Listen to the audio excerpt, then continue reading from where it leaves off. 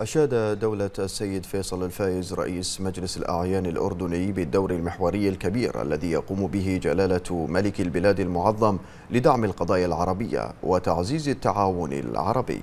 جاء ذلك خلال استقبال سعادة السيد عادل بن عبد الرحمن العسومي رئيس البرلمان العربي لرئيس مجلس الأعيان الأردني في القاهرة. وأشاد الفايز بالأداء المميز لحكومة مملكة البحرين برئاسة سمو ولي العهد رئيس مجلس الوزراء على جهودها الصادقة لتعزيز أواصر التضامن العربي وتعزيز التعاون بين الدول العربية لمواجهة التحديات الراهنة. من جانبه أكد العسومي خلال اللقاء حرص البرلمان العربي على التنسيق المشترك مع مجلس النواب الأردني في المحافل الإقليمية والدولية بما يدعم القضايا العربية العادلة.